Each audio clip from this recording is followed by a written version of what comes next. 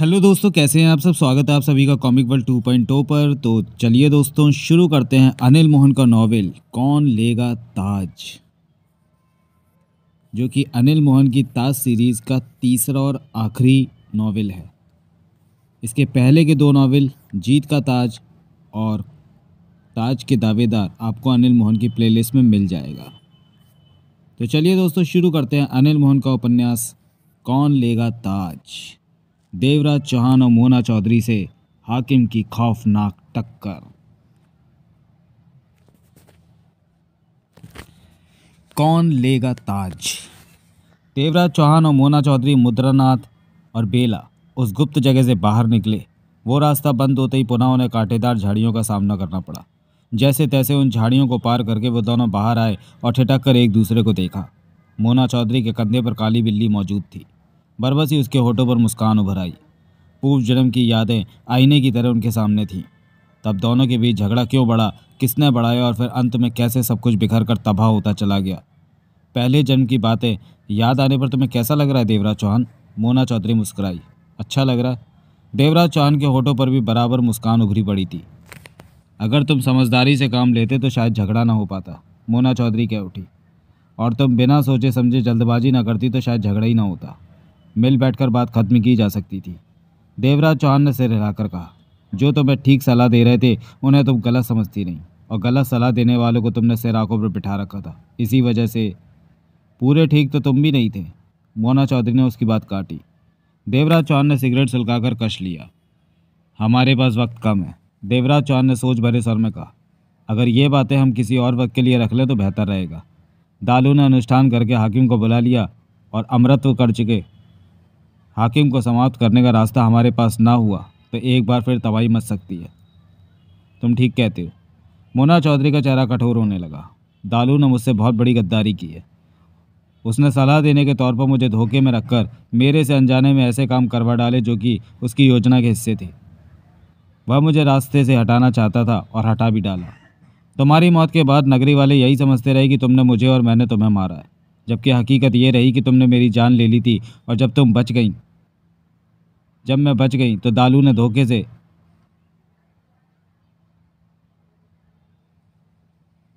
और जब तुम बच गई तो दालू ने धोखे से तुम्हारी जान ले ली और ये प्रचार कर डाला कि दोनों एक दूसरे को मारकर मर गए। देवराज चौहान ने कहा, मैं दालू को किसी कीमत पर नहीं छोड़ूँगा, छोड़ूँगी। मोना चौधरी गुर्रा उठी, लेकिन पहले हाकिम से टक्कर लेनी होगी दालू तक पहुँचने के लिए। देवराज चौहान की आवाज़ में गंभीरता आ गई थी और गुरुवर के मुताबिक जब हमें अपने पहले जन्म की याद आएगी तब दालू हाकिम को बुलाने के लिए अनुष्ठान की शुरुआत करने का प्रबंध कर रहा होगा। इससे पहले कि अनुष्ठान के पश्चात हाकिम प्रकट हो तुम्हें वो किताब हासिल कर लेनी चाहिए जिसमें यह दर्ज है कि अमृत्व प्राप्त हाकिम को कैसे ख़त्म किया जा सकता है। इसके लिए मुझे अपने पूर्व जन्म के महल में जाना होगा। वहाँ मैंने खास जगह पर किताब को छिपा दिया था और उस महल में मैं पहले भी जा चुकी हूँ। उसी महल के कुएँ से गीत लाल ने मुझे इस तिलिस में ढकेला था। तब मैं नहीं जानती थी कि वो विशाल महल कभी मेरा ही महल था। देवराज चौहान ने मोना चौधरी को देखा। वहाँ तक पहुँचने का रास्ता मालूम है तुम्हें कि महल कहाँ पर है? देवराज चौहान ने पूछा। हाँ तिलिस्म के बाहर है वो महल। लेकिन बाहर निकलने का रास्ता हमें नहीं मालूम है तिलिस्म में कदम कदम पर मोना चौधरी के होठों पर अजीब सी मुस्कान देकर देवराज चौहान खामोश हो गया। हाँ तिलिस्म के बाहर है वो महल। लेकिन बाहर निकलने का रास्ता हमें मालूम नहीं है तिलिस्म कदम कदम पर मोना चौधरी के होठों पर अजीब सी मुस्कान देखकर देवराज चौहान खामोश हो गया। तुम ये बात क्यों भूल रहे हो कि मुझे अपने पूर्व जन्म की सब बातें याद आ चुकी? और तिलिस्म मेरी ही देने यहाँ खतरे और भटकाव कभी मैंने ही भरे थे। इसलिए अब यह तिलिस्म मेरे लिए उस तरह है जैसे कोई बच्चा रेत पर घर बनाता है और खुद ही उसे तोड़ फोड़ देता है। देवराज चौहान ने होठ से कोड़कर सिर हिलाया। तुम्हारा साथ होना मेरे लिए और अच्छी बात है, क्योंकि कई जगह पर तिलिस्म के दरवाजे तभी खुल सकते हैं जब देवा मेरे साथ हो। मोना चौधरी पुनः मुस्कुराई। ऐसा क्यों किया था तुमने? दुश्मनी के नाते। ताकि कभी तुम अकेले आकर तिलिस में अपनी मनमानी न कर जाओ। तिलिस्म के उन रास्तों का ना तोड़ दो जिन्हें मैं नहीं चाहती थी कि तुम तोड़ सको। मोना चौधरी बोली, कैसे रास्ते? जैसे कि तुम अपनी बस्ती वालों परिवार को तिलिस्म से आज़ाद न कर दो, वो तिलिस्म तभी टूट सकता है अगर मैं तुम्हारी सहायता करूँ, वरना कभी नहीं टूट सकता। ऐसे और भी कई बातें हैं जो वक्त आने के साथ साथ तुम्हें मालूम हो जाएँगी। मोना चौधरी का सर गंभीर हो गया। अगर मेरे परिवार वाले बस्ती वाले रास्ते में पढ़ते हों तो पहले मैं उन्हें तिलिस्मी कैसे आज़ाद करवाना पसंद करूँगा? वो मेरा इंतज़ार कर रहे हैं। देवराज चौहान बोला। अभी ऐसा करने से खास कोई फ़ायदा नहीं होगा। क्यों? दालू ने उस ताज के दम पर नगरी का समय चक्र रोक रखा है। जब तक समय चक्र रुका रहेगा, तब तक कोई आज़ाद होकर भी आज़ाद ना हो सकेगा। इसलिए सबसे पहले नगरी के समय चक्र को चालू करके नगरी को सामान हालतों में लाना है। तभी तो लोगों को कैद से निकलने का छुटकारा पाने का एहसास हो पाएगा। वो जन्म ले सकेंगे। उम्र पूरी करके मृत्यु को प्राप्त हो सकेंगे। सामान्य इंसानों की तरह वो सब जीवन व्यतीत कर सकेंगे। मोना चौधरी का सर गंभीर था। नगरी के समय चक्र को पुनः चालू करना इतना आसान नहीं, देवराज चौहान ने गंभीर सर में कहा। जानती हूँ, उसके लिए वो तिलिस्मी ताज हासिल करना होगा, जिसे कभी तुम कुलदेवी बनने पर पहना करती थी। उसी ताज की ताकत के दम पर दालू ने समय चक्र को रोक रखा है, और इस वक्त वो ताज दालू की तिलिस्मी शक्तियों के पहरे में मौजूद है, जिनका मुकाबला करना आसान नहीं। लेकिन मेरे लिए कठिन नहीं है। मोना चौधरी के दांत भिज गए। इस नगरी में तिलिस्मी विद्या में मेरे से माहिर कभी कोई नहीं रहा। मैं दालू के हर तिलिस्मी जाल को काट दूँगी। तिलिस्म मेरे लिए मामूली से खेल से ज़्यादा नहीं है। ये जुदा बात है कि तुम तिलिस्मी विद्या पूर्ण नहीं कर सके थे। इसलिए इस विद्या में इतने माहिर नहीं हो सके। अगर तुम्हें वक्त मिला होता तो शायद हो जाते।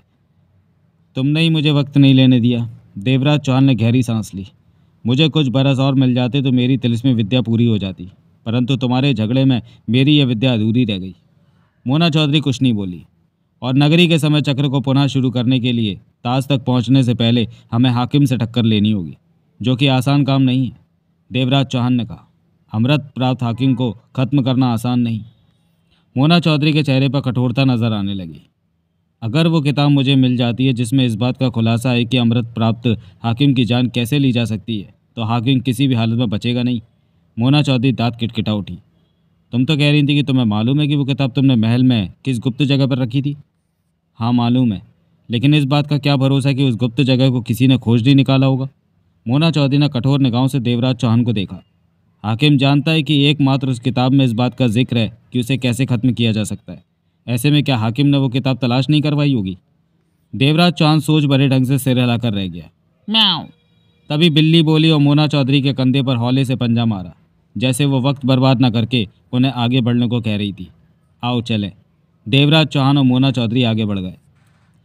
पाठ को आपने पूर्व प्रकाशित दो उपन्यास, जीत का ताज और ताज के दावेदार अवश्य पढ़ लिए होंगे। फिर भी याद दिलाने के तौर पर बता दूँ कि उन दोनों उपन्यासों में आपने क्या पढ़ा। जीत का ताज में फ़कीर बाबा की लाख कोशिशों के बावजूद भी जब झगड़े के लिए देवराज चौहान और मोना चौधरी आमने सामने खड़े हो गए तो क्रोधित होकर फ़कीर बाबा देवराज चौहान और मोना चौधरी को इनके साथियों के साथ अपनी शक्ति के दम पर पाताल नगरी स्थित तिलिस्मी नगरी में पहुँचा देते हैं, जहाँ इनका सामना मायावी जादुई शक्तियों से होता है। देवराज चौहान और मोना चौधरी में हार जीत का फैसला हो सके, इसके लिए फ़कीर बाबा तिलिस्मी नगरी में मौजूद ताज लाने को कहते हैं। जो ताज लाएगा, वही जीता माना जाएगा। परंतु आगे बढ़ते समय तिलिस्मी नगरी की अदृश्य शक्तियाँ एक एक करके सबको गायब कर देती हैं। देवराज चौहान और मोना चौधरी बचे रह जाते हैं। रास्ते में मोना चौधरी को मुद्रानाथ नाम का बूढ़ा व्यक्ति मिलता है, जो मोना चौधरी को तिलिस्मी खंजर देता है, कि मुसीबत के वक्त खंजर से वो सहायता ले सकती है। उधर देवराज चौहान को बेला नाम की युवती का साथ मिल जाता है, जो अदृश्य होकर कदम कदम पर देवराज चौहान की सहायता करते हुए उसे खतरों से बचाती है। अंत में देवराज चौहान और मोना चौधरी वहाँ पहुँच जाते हैं, जहाँ फ़कीर बाबा ने पहुँचने को कहा था। वो जगह तिलिस्मी नगरी का प्रवेश द्वार था और दोनों अलग अलग रास्तों से ताज लेने के लिए तिलिस्मी नगरी में प्रवेश कर जाते हैं। यहाँ तक आपने जीत का ताज में पढ़ा और ताज के दावेदार में आपने पढ़ा कि तिलिस्मी नगरी में प्रवेश करने के बाद देवराज चौहान और मोना चौधरी का अजीब अजीब हादसों से सामना होता है और उन हादसों से वे बसते हुए आगे बढ़ते हैं। मोना चौधरी कई जगहों पर अपने बुत देखती है। वो समझ नहीं पाती कि उसके बुत यहाँ क्यों हैं। जब वो सुनसान जगह पर भटक रही होती है तो गीत लाल नाम का युवक उसे मिलता है, जो कि उसे पाताल नगरी के तलिस में ढकेल देता है, जहाँ से बाहर निकलना संभव नहीं। इसी तरह देवराज चौहान को भी तलिस में फंसा दिया जाता है। दोनों अलग अलग खतरों से जूझते हुए तिलिस में भटकते रहते हैं। इसी दौरान देवराज चौहान एक ऐसी बस्ती में पहुँच जाता है जहाँ वो पूर्व जन्म में रहा करता था। तब भी उसका चेहरा यही था। बस्ती वाले खुश होते हैं, उसे आया पाकर। वहाँ वो अपने भरे पूरे परिवार से मिलता है। जहन में पूर्व जन्म की कुछ कुछ बातें याद आती हैं। मालूम होता है कि दालू ने नगरी के समय चक्र को रोक रखा है, उन्हें कैद कर रखा है, और उन सबको पूरा यकीन है कि देवा उन्हें कैसे मुक्ति दिलाएगा। देवराज चौहान का मस्तिष्क इस कदर उलझ जाता है कि वह ठीक से सोच समझ नहीं पाता और रात को जब सब नींद में होते हैं तो वो बस्ती से निकलकर आगे बढ़ जाता है। फिर इसकी मुलाकात मोना चौधरी से होती है, जो मौत के मुँह में फंसी हुई है। देवराज चौहान उसे बचाता है। यदा कदा अदृश्य बेला उसकी सहायता करती रहती है। मिलने पर देवराज चौहान और मोना चौधरी में यह तय होता है कि यहाँ खतरे बहुत हैं। दोनों का मिलकर रहना ठीक है। जब ताज हाथ हाथ में आएगा तो उसे बीच में रखकर ताज का फैसला कर लेंगे। इस तरह देवराज चौहान और मोना चौधरी आगे बढ़ते हुए एक साथ खतरों का मुकाबला करते हैं। फ़कीर बाबा भी इस दरमियान उनसे मिलता है। उधर बेला देवराज चौहान को बताती है कि वो पूर्व जन्म में, पूर्व जन्म की मिन्नो यानी मोना चौधरी की बहन है। कहानी तरह तरह के रोमांचक मोड़ों से होती हुई आगे बढ़ती है। नगरी पर कब्जा जमाए दालू बाबा को जब उनके आने की खबर मिलती है तो वह इन दोनों के साथियों को कैद करके ये जानना चाहता है कि उन्हें नगरी में कौन लाया। परंतु उसके सवाल का कोई जवाब नहीं देता। तिलिस्म में मौजूद देवराज चौहान और मोना चौधरी को खत्म करने की अपनी कोशिशें बराबर जारी रहती हैं। वह तरह तरह के हथकंडे आजमाता रहता है, जो कि दिलचस्प है। आखिरकार बेला उन दोनों को तिलिस्म में मौजूद खुफिया जगह ले जाती है, जहाँ वही मुद्रानाथ मौजूद है, जिसने मोना चौधरी को तिलिस्मी खंजर दिया था। बेला भी अब असली रूप में सामने आ जाती है। तब मोना चौधरी को मालूम होता है मुद्रानाथ उसके पूर्व जन्म का पिता और बेला उसकी बहन है। लेकिन देवराज चौहान की तरह उसे भी पूर्व जन्म की ठीक से याद नहीं आ पाती। उधर रुस्तम राव फ़कीर बाबा के पास है। फ़कीर बाबा उसे पूर्व जन्म की याद दिला देते हैं। तब रुस्तम राव को याद आता है कि फ़कीर बाबा की बेटी लाडो से उसका ब्याह होने जा रहा था। कि देवा को खतरे में पाकर मंडप छोड़कर उसे लाडो के ही भाई कालूराम को मारने जाना पड़ा। रुस्तम राव और लाडो में पूर्व जन्म की दिलचस्प बातें होती हैं। रुस्तम राव ज़्यादा देर लाडो के पास नहीं रह पाता और फ़कीर बाबा रुस्तम राव को तिलिस में भेज देता है कि वो वहाँ देवराज चौहान और मोना चौधरी की सहायता करे। उन्हें पूर्व जन्म की बातें याद दिलाने की कोशिश करे। उधर मुद्रानाथ मोना चौधरी को उस बस्ती में भेजता है, जहाँ उसकी माँ रौनक देवी अभी भी मकान में मौजूद है। मुद्रानाथ और बेला किसी कारणवश दालू से बचने के लिए छिपे हुए हैं डेढ़ सौ बरस से। डेढ़ सौ बरस से दालू बाबा ने सिद्धियों से भरपूर तिलिस्मी ताज की शक्ति से नगरी का समय चक्र रोक रखा है। मोना चौधरी अपनी माँ रौनक देवी से मिलती है, नीलू महाजन की माँ मौसी से मिलती है, सहेली सत्तो से मिलती है। पूर्व जन्म की और भी कई बातें याद आती हैं, परंतु पूरी तरह से कुछ भी याद नहीं आ पाता। तो मुद्रानाथ उसी गुप्त जगह पर देवराज चौहान और मोना चौधरी को अपनी शक्तियों के दम पर पूर्व जन्म की पूरी याद दिला देता है। उधर दालू की कैद में महाजन जब दालू को देखता है तो उसे एकाएक पूर्वजन की बातें याद आ जाती हैं। वो दालू की जान लेने को दौड़ता है कि दालू उसे पिंजरे में बंद कर देता है। दालू को मारने के लिए महाजन पागलों की तरह चीखता चिल्लाता रहता है। दालू को जब महसूस होता है कि देवा मिन्नू उसके लिए खतरा बन सकते हैं, उन्हें पूर्व जन्म की याद आ गई तो उनकी सारी हुकूमत खत्म कर सकते हैं तो वह हाकिम को बुलाने का फैसला करता है। जो कि गुरुवर का ही बेटा है, अज्ञातवास पर है, जिसे अमृत प्राप्त है और अच्छे कामों छोड़कर बुरे रास्ते पर पड़ गया है। हाकिम अनुष्ठान का इंतज़ाम करता है। दालू बाबा अनुष्ठान का इंतज़ाम करता है हाकिम को बुलाने के लिए, ताकि हाकिम आकर देवराज चौहान और मोना चौधरी को ख़त्म कर सके। जिसे भी ये खबर लगती है कि हाकिम को बुलाने के लिए अनुष्ठान आरंभ होने वाला, वो काँप उठता है। हाकिम को नगरी वाले इंसान न मानकर वैसी जानवर मानते हैं। हाकिम को कोई नहीं मार सकता। उससे सब डरते हैं। उधर देवराज चौहान और मोना चौधरी को सब याद आता है तो सारे हालात समझने पर वे चिंतित हो जाते हैं। मुद्रानाथ उन्हें बताता है कि दालू ने हाकिम को बुलाने के लिए अनुष्ठान की तैयारी आरंभ कर दी है, ताकि वो आकर उन्हें समाप्त कर सके। तब मोना चौधरी को ध्यान आता है कि जब वो देवी थी, तब गुरुवर ने किताब लिखकर उसे दी थी, जो कि नगरी की देवी के पास ही सुरक्षित रहेगी। उस किताब में यह दर्ज था कि अमृत प्राप्त हाकिम से कैसे टक्कर ली जा सकती है। और वो किताब मोना चौधरी के तब के पुराने महल में गुप्त जगह पर रखी हुई है। इससे पहले कि हाकिम प्रकट हो, गुरुवर को दी गई उस किताब को पाना ज़रूरी हो गया, ताकि हाकिम का मुकाबला किया जा सके। देवराज चौहान और मोना चौधरी फ़ौरन उस किताब को लेने के लिए चल पड़ते हैं, ताकि अमृत, अमृतत्व हासिल कर चुके हाकिम से किसी तरह मुकाबला किया जा सके, और अब आगे। दालू बाबा, हाकिम को बुलाने के लिए अनुष्ठान की तैयारियाँ पूर्ण हो चुकी थीं। केसर सिंह ने दालू बाबा के बताए अनुसार सारे इंतज़ाम कर दिए थे। इस समय दालू बाबा और केसर सिंह खुले आसमान के नीचे थे। तैयारियाँ पूर्ण होने की खबर पाते ही बेसब्र दालू बाबा फ़ौरन वहाँ आ पहुँचा था। यह 500 गज खुली जगह गोलाई लिए हुए थी। उस जगह के किनारों पर 50 फीट ऊँची दीवारें खड़ी हुई थीं। ठीक बीचों बीच बड़ा सा हवन कुंड था, जिसे देखकर इस बात का एहसास स्पष्ट हो रहा था कि उसे अभी बनाया गया है। वो हवन कुंड नया और बिना इस्तेमाल हुए नज़र आ रहा था।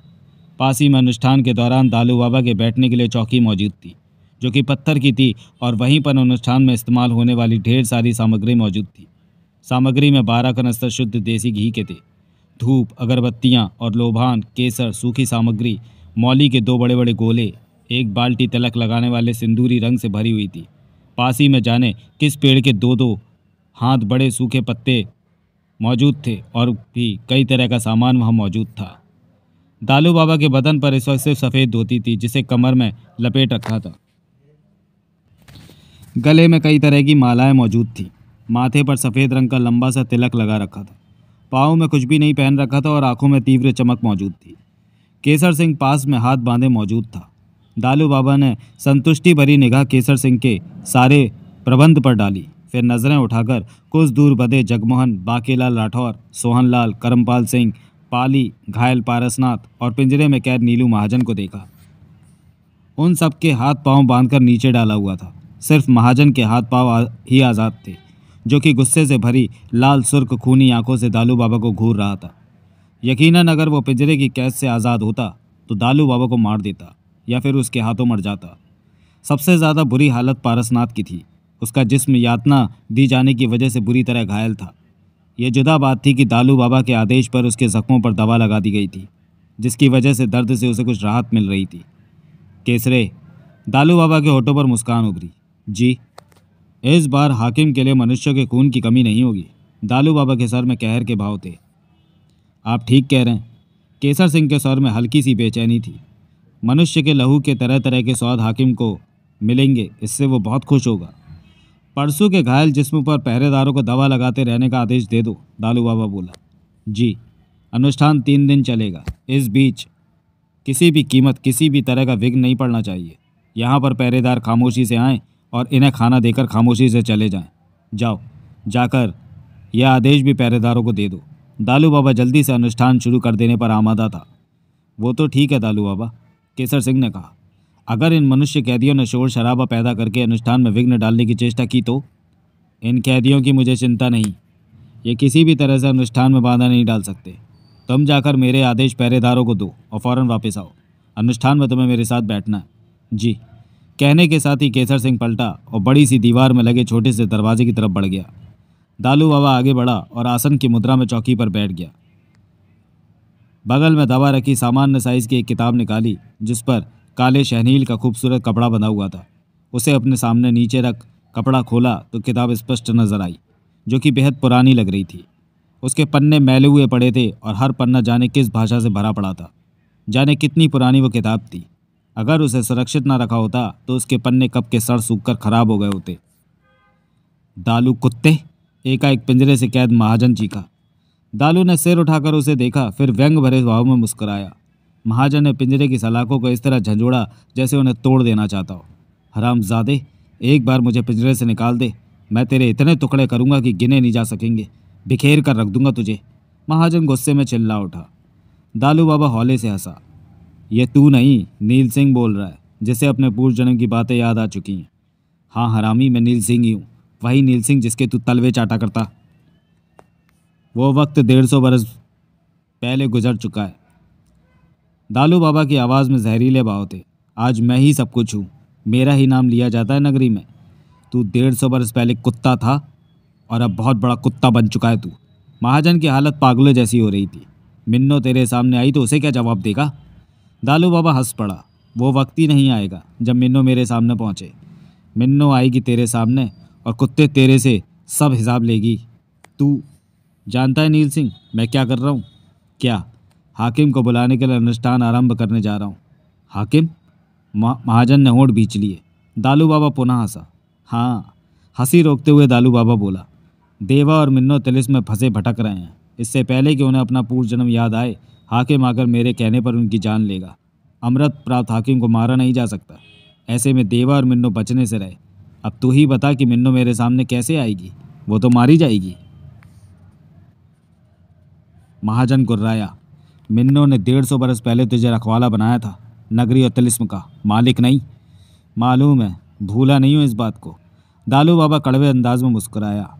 लेकिन डेढ़ सौ बरस बादशाहों जैसा जीवन व्यतीत करने के पश्चात, अब मैं मिन्नो के आगे सिर झुकाकर उसके हुक्म की तामील नहीं कर सकता। वो आदत जो चली गई उसे वापस नहीं ला सकता। इसलिए बेहतर यही है कि मिन्नो ही खत्म हो जाए। हाकिम उसे खत्म करेगा। वैसे भी पूर्व जन्म की याद आने पर मिन्नो को जब मालूम होगा कि मैंने उसके पिता मुद्रनाथ और बहन बेला को जान से मारने की चेष्टा की है और अभी भी कर रहा हूँ तो वो मुझे किसी भी हाल में ज़िंदा नहीं छोड़ने वाली। महाजन ठहाका लगा उठा। देवी के ताज पर अधिकार जमा रखा है। हाकिम तेरी बात मानेगा। इस पर भी तेरे भीतर मिलनों का खौफ मौजूद है, जबकि तू इस वक्त नगरी का सबसे ताकतवर आदमी है। दालू बाबा के दांत भिज गए। एक बात और है जो तेरी मौत की वजह बनेगी। क्या मिन्नो को जब मालूम होगा कि तूने परसी को कैसी कैसी यातना दी है, मुझे किस तरह कैद कर रखा है तो वो तेरी मौत को और भी क्रूर बना देगी। महाजन हँसी रोकते हुए बोला, अपनी मौत और मिन्नों के क्रोध से बचना बचना चाहता है तो रास्ता बताऊँ? दालू बाबा खा जाने वाली निगाहों से महाजन को देखता रहा। पूछेगा तो बताऊँगा, नहीं तो नहीं, महाजन ने व्यंग से कहा। बोल, वही जो तू करने जा रहा है, अनुष्ठान कर और बुला ले हाकिम को। ऐसा करने से शायद तेरी जान बच जाए और हाकिम मिन्नों को ख़त्म कर दे। महाजन शब्दों को चबाकर कह उठा? ऐसा ही होगा। दालू बाबा दरिंदगी भरे स्वर में कह उठा? अमृत प्राप्त हाकिम को कोई नहीं मार सकता और वो आसानी से देवा और मिन्नों को खत्म। दालू बाबा के शब्द अधूरे ही रह गए। उसकी निगाह दाई तरफ़ पड़ी। महाजन सोहनलाल, पारसनाथ कर्मपाल सिंह, जगमोहन, बाकीलाल, लठौर, सबकी निगाह भी उस तरफ़ उठ चुकी थी। सबके चेहरे पर एकाएक हैरानी आ गई थी और महाजन तो खुशी से चीख ही उठा था। गुरुवर, प्रणाम गुरुवर। महाजन खुशी से भरे स्वर में चीख उठा। पहचाना मुझे? मैं नील सिंह, आपका शिष्य, मिन्नो का खास साथी। मुझे पहचान लिया ना गुरुवर? वह गुरुवर ही थे जो अचानक प्रकट हो गए थे। वही रूप, वही सब कुछ। सफ़ेद सुनहरी के चमकते बाल, वैसी दाढ़ी मूछें। दाढ़ी लंबी होकर छाती तक जा रही थी। स्वस्थ लाल सुर्ख चेहरा। वैसा ही स्वस्थ शरीर, आँखों में अजीब तरह का तेज था, जिसका सामना करना संभव नहीं था। गले में तीन मालाएँ थीं, माथे पर चंदन का तिलक कमर के गिर्द सफ़ेद धोती जैसा कपड़ा लिपटा हुआ था, जिसका छोर कंधे पर डाल रखा था। वे नंगे पाँव थे। डेढ़ सौ बरस बीत जाने पर भी गुरुवर में कोई बदलाव नहीं आया था। होठों पर शांत, मधुर में मुस्कान, माथे पर बलों की, बला की गहरी लकीरें, गले में जनेऊ था जो कमर तक आ रहा था। मुस्कुराते हुए पिंजरे में बंद के नील सिंह को देख रहे थे। जगमोहन बाकेला राठौर, पारसनाथ, करमपाल सिंह, सोहनलाल, सबकी निगाह गुरुवर पर थी। प्रणाम गुरुवर। दालू बाबा ने हाथ जोड़कर कहा। गुरुवर ने मुस्कुराते हुए दालू बाबा को देखा, फिर आशीर्वाद देने वाले ढंग से हाथ उठाया और अपने कदम नीचे घायल पड़े पारसनाथ की तरफ़ बढ़ा दिए, जिसे की सख्ती से बाँध रखा था। हाथ पाँव रस्सियों से जकड़े हुए थे। गुरुवर पारसनाथ के करीब पहुंचकर टिटके सबकी उलझन भरी निगाह गुरुवर पर थी। पारसनाथ भी पीड़ा भरी निगाहों से गुरुवर को ही देख रहा था। पारसनाथ, महाजन आवेश में चीख उठा। देख क्या रहा है? गुरुवर खुद तेरे पास आए हैं। बहुत किस्मत वाला है तू। पाँव में पड़ जा गुरुवर के। बहुत कुछ मिल जाएगा तुझे। और ओह, तू तू, तेरे तो हाथ पाँव बंधे हुए हैं। कहते हुए महाजन के होठ बिछ गए। गुरुवर ने मुस्कुराकर महाजन को देखा। देखा गुरुवर? सब कुछ आपकी आँखों के सामने। महाजन दांत पीस कर कह उठा। दालू ने परसू का क्या हाल कर दिया है? एक जगह से तो परसू के शरीर की हड्डी तक नज़र आ रही है। अमानवीय यातना की हद कर दी दालू ने। शराफत तो इसमें ना तो पहले कभी थी और ना अब है। गुरुवर ने अपना मुस्कान भरा चेहरा पारसनाथ की तरफ़ किया। कैसा है परसू? गुरुवर के होठों से शहद से भरे मीठे स्वर निकले। पारसनाथ गुरुवर को ना पहचान सका। उसने तो पहली बार इस इंसान को देखा था। परंतु महाजन की बातों से उसे हालातों का काफ़ी जायज़ा हो गया था। वह समझ नहीं पाया कि गुरुवर की बात का क्या जवाब दे।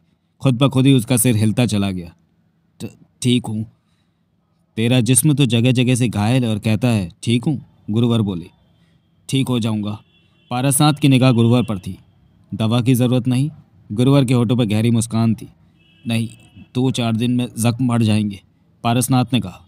गुरुवर के होठों पर छाई मुस्कान और भी गहरी हो गई। पहले की तरह ही है तू, परसू। तब भी तू दर्द और जख्मों की परवाह नहीं करता था और अब भी। शरीर बदल गया, जन्म बदल गया, परंतु आत्मा तो तेरी वही है। तो कर्म भी तो वही होंगे। पारसनाथ ना समझने वाली निगाहों से गुरुवर को देखता रहा। दालू बाबा आँखें से कोड़े गुरुवर को देखे जा रहा था। गुरुवर नीचे झुके, हाथ पारसनाथ के सिर पर रखा। होटो ही होटो में कोई मंत्र सा बुदबुदाया और अगले ही पल पारसनाथ का जख्मी, जख्मों से भरा शरीर सामान्य हो गया। अब कहीं कोई जख्म तो क्या? जख्म का निशान भी नहीं बचा था गुरुवर होटो पर मुस्कान लिए सीधे खड़े हो गए। पारसनाथ ने खुद को बिल्कुल स्वस्थ पाया। चेहरे पर हैरानी के भाव उभरे। दूसरों का भी यही हाल था, जबकि महाजन के होठों से खुशी से भरी हँसी निकली। पहचाना नहीं परसू मेरे को? गुरुवर ने पूछा। नहीं, पारसनाथ के ऊँटों से निकला। जैसी ऊपर वाले की इच्छा। जब वो चाहेगा तभी तो पहचानेगा मुझे। कहने के पश्चात गुरुवर की मुस्कान भरी मीठी निगाह जगमोहन पर गई। तू कैसा है जग्गू? अच्छा हूँ। जगमोहन ने तुरंत से हिलाया। तू भी नहीं पहचान रहा मुझे? गुरुवर के सर में भी मुस्कान के भाव थे। जगमोहन ने इनकार में सिर हिला दिया। गुरुवर ने बाकेलाल लठौर सोहनलाल को देखा। गुलचंद, भंवर सिंह, तुमने भी नहीं पहचाना होगा? पूर्व जन्म याद नहीं आया ना? नहीं। दोनों के सिर इनकार में हिले।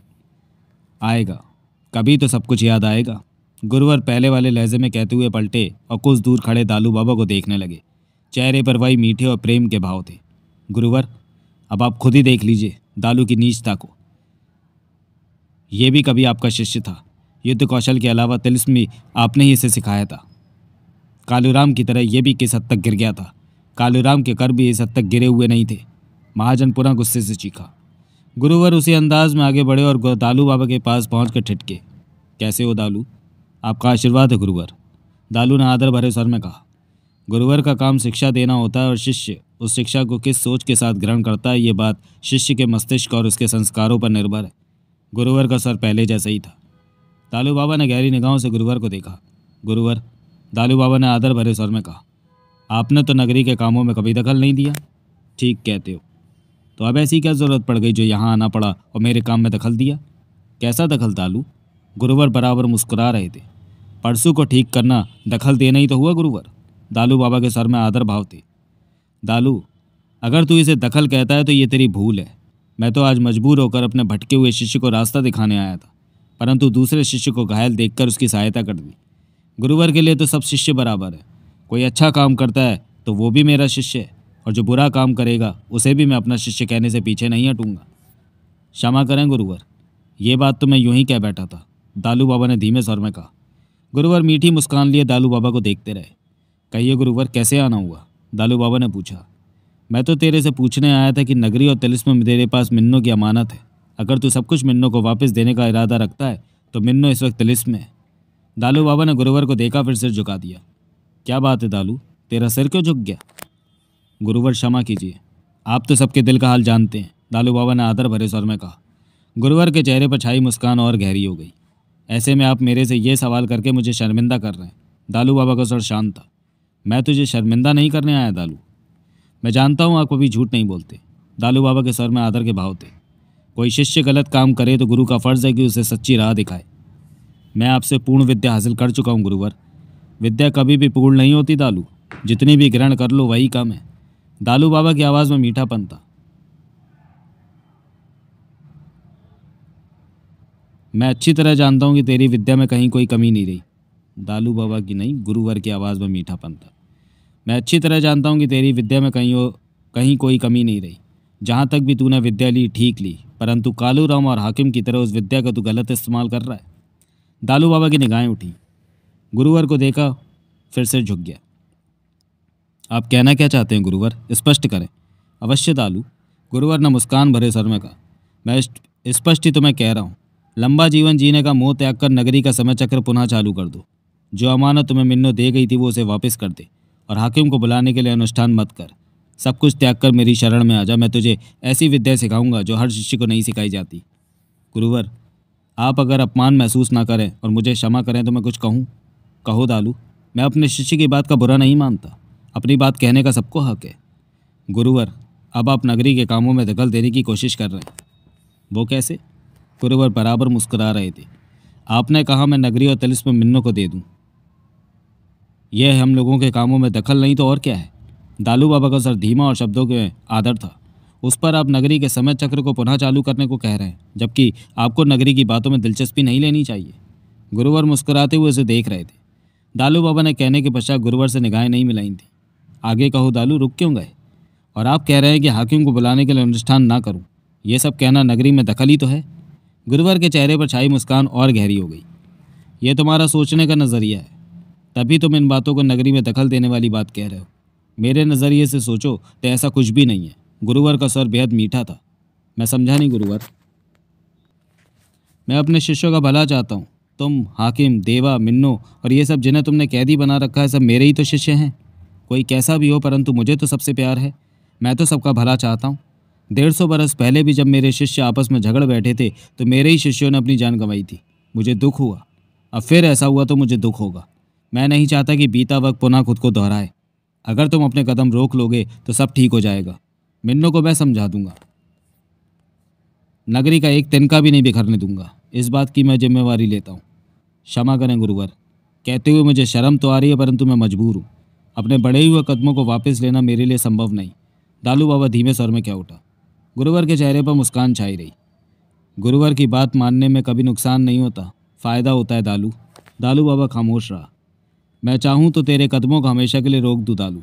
परंतु मेरा इस बात पर पक्का यकीन है कि इंसान जैसे कर्म करता है, वैसे ही फल प्राप्त करता है। इसलिए मैं तो विद्या बांटता हूँ। शिष्य अपने कर्म करते हैं, ऊपर बैठा सबको देखने वाला कर्मों के मुताबिक ही फल बांटता है। गुरुवर दालू बाबा ने धीमे स्वर में कहा, मैं अनुष्ठान करके हाकिम को बुला रहा हूँ। तीसरे दिन वो यहाँ पर मौजूद होगा। अगर आपके समझाने पर हाकिम सीधे रास्ते पर आ जाए तो मैं हमेशा के लिए आपके चरणों में आ जाऊँगा। गुरुवर खुलकर मुस्कुराए। ये बात तुम इसलिए कह रहे हो कि हाकिम मेरा बेटा है। गुरुवर की आवाज़ में वही मीठापन मौजूद था। लालू बाबा ने कुछ नहीं कहा। हाकिम मेरा बेटा है। मेरे से उसने बड़ी बड़ी विद्याएँ सीख ली। गुरुवर के चेहरे पर छाई मुस्कान कम नहीं हुई थी। वो विद्या भी मैंने उसे सिखा दी जो कि नहीं सिखानी चाहिए थी। बहुत बड़ा विद्वान बन गया था वो। मैं तब कितना खुश था कि मेरा बेटा चाहता, लायक निकला। अपने देवता का आह्वान करके उसे देवता के दर्शन कराए और देवता के, देवता से हाकिम को अमृत दिलवा दिया कि ये जीवन भर दूसरों का भला करेगा। मुझ पर विश्वास करके देवताओं ने हाकिम को अमृत दिया था, परंतु अपने ही बेटे के मस्तिष्क की सोचों से मैं हमेशा अनजान रहा। वो तब अमृत भी प्राप्त होने का इंतज़ार कर रहा था, जिसके प्राप्त होते ही वो बुरे रास्तों पर चल पड़ा। बहुत समझाया मैंने उसे। परंतु अमृत हासिल करने के बाद घमंड उसे खा गया था। मेरी एक नहीं सुनी। नहीं मानी मेरी बात। मैं चाहता तो उसका नाश कर सकता था। परंतु हर कोई अपने कर्मों के अनुसार ही फल पाता है, इसलिए मैंने मन से उसे क्षमा कर दिया। उसके अच्छे बुरे कर्मों को भूल कर अपने रास्ते पर लगा रहा। दो सौ बरस बीत चुके हैं इस बात को, और अब तुम कहते हो कि हाकिम को समझाकर मैं सीधे रास्ते पर लाऊं। मैं ऐसा क्यों करूँ, दालू? दालू बाबा खामोश रहा। मैं अपने शिष्य को समझाने आया था। गुरुवर बराबर मुस्कुरा रहे थे। अब महसूस हुआ कि ये भूल थी मेरी, क्योंकि मेरा शिष्य मेरे को ही रास्ता दिखाने लगा। नहीं गुरुवर, मेरा ऐसा कोई इरादा नहीं था। हाकिम की बात यूँ ही, बातचीत का समय पूर्ण हो गया दालू। अब मेरे चलने का वक्त आ गया कहने के साथ ही गुरुवर ने आँखें बंद की तो सबके देखते ही देखते गुरुवर जैसे हवा में विलीन हो गए। कुछ पलों के लिए सब सकते किसी हालत में खड़े रहे। जाने क्यों दालू बाबा के चेहरे पर अजीब सी मुस्कान नाच उठी उसके बाद दालू बाबा ने पास पड़ी छोटी छोटी लकड़ियाँ उठाकर कुंड में रखनी आरंभ कर दी। सबकी निगाहें दालू बाबा की हरकत पर थी कि एकाएक महाजन चीख कर गुस्से से कह उठा, दालू, आज मैं मान गया कि तेरे से बड़ा नीच इस नगरी में कोई दूसरा नहीं दालू बाबा ने मुस्कुराकर पिंजरे में बंद महाजन को देखा, फिर पुनः अपने काम में व्यस्त हो गया। कमीने, तूने तो अपने गुरुवर की भी लाज नहीं रखी। फिर देवी के साथ तो जो कर जाए वही कम है महाजन खा जाने वाले स्वर में कह रहा था। गुरुवर ने तेरे को विद्या सिखाकर जानवर से इंसान बनाया, वरना आज भी तू कहीं बैल चलाकर पेट भर रहा होता। गुरुवर का कर्जा तो पूरे जन्म में नहीं उतार सकता तू। गुरुवर की शराफत तो देख, आज तक उन्होंने कभी किसी शिष्य से गुरु दक्षिणा नहीं मांगी। किसी ने दी तो उन्होंने ग्रहण करने से इनकार कर दिया, और आज तेरे को गुरुवर ने कुछ कहा तो तूने मानने से इनकार कर दिया। दालू बाबा मुस्कुराता रहा जगमान ने क्रोध से महाजन को देखा, तू क्यों गला फाड़ रहा है? इसकी शक्ल ही बता रही है कि यह नहायत ही घटिया इंसान है। जगमोहन बोला, मारे को ना मालूम होवे कि का मामलो होवे। बाकेलाल और बंदरों में झगड़ा फड़फड़ा रहा था। हम थारों से एको बात ज़रूर पूछो, दालू बाबा। दालू बाबा ने उसे देखा। पूछ भंवर सिंह, दालू बाबा के चेहरे पर जहरीली मुस्कान थी। यो कुंडों में लकड़ियों को लगाकर अपनों चिता सजायो का। दालू बाबा के दांत भिज गए। उसने सीधा खड़ा होकर बाकेलाल लठौर को घूरा। मारे को अखियों अखियों में खावे का ये मैं अपनी नहीं, तुम लोगों की चिता तैयार कर रहा हूँ। दालू बाबा ने कठोर स्वर में कहा, ऐसी भयानक बातें क्यों करता है दालू? सोनलाल गहरी सांस लेकर क्या उठा? हमने तेरा क्या बिगाड़ा है? कुछ नहीं बिगाड़ा गुलचंद दालू बाबा पहले जैसे सर में क्या उठा? लेकिन बिगाड़ बहुत कुछ सकते हो।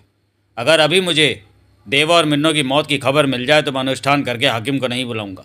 लेकिन मुझे नहीं लगता कि ऐसा संभव हो पाएगा। क्योंकि वे तिलिस्मी जहर की हत्या कर सकते हैं तो स्पष्ट है कि वे आसानी से बस में आने वाले नहीं। हाकिम ही निपटेगा उनसे। कुत्ता हमेशा भौंक कर अपनी सहायता के लिए कुत्ते को ही बुलाता है। महाजन ने नफरत भरे स्वर में कहा, दालू बाबा अपने काम में व्यस्त रहा। तभी केसर सिंह वहाँ पहुँचा। आ, केसरे। आदेश दे आया? हाँ दालू बाबा। मैं बाकी कारपूर्ण करता हूँ, तब तक तुम इन छः कटोरों में इन छः मनुष्यों का लहू भरो। जी। कहने के साथ ही केसर सिंह ने सामान्य साइज़ के छः कटोरे उठाए, उनकी तरफ़ बढ़ गया। ओ राक्षस एबतम मारा लहू पियो का? वास्तव में कुत्ते हो तुम लोग। जगमोहन सख्त स्वर में क्या उठा? मेरे में तो पहले ही खून कम है, सोनलाल ने हड़बड़ा कर कहा। फिर पारसनाथ को देखा। भाई पारसनाथ, मेरे बदले तू कटोरा लहू दे दे। उधार रहा, कभी ना कभी तो वापस कर ही दूँगा। जवाब में पारसनाथ मुस्कुरा कर रह गया। ये खून निकालेगा। कर्मपाल सिंह घबरा उठा। तभी महाजन ने ज़ोरों से ठहाका लगाया। दालू, महाजन हँसी रोकते हुए क्या उठा? मेरा खून लेगा तू। ले, पिंजरा हटा।